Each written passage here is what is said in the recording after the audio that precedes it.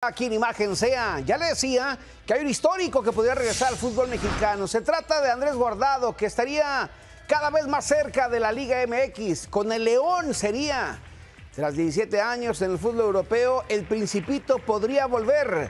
Las negociaciones parecen estar avanzadas y el club tendría el sí del futbolista para regresar a México y vestir los colores de la fiera por lo que solo sería cuestión de negociar con el cuadro del Betis para que este facilite la salida del futbolista mexicano, tema que no esperan que sea traba debido a que hay una buena relación que tiene Andrés Guardado con la directiva del cuadro español, por lo que se espera que a fines de esta semana se pueda dar el anuncio de manera oficial. 37 años, un hombre que me parece ha marcado una época en el fútbol mexicano y que ahora regresaría para terminar su carrera.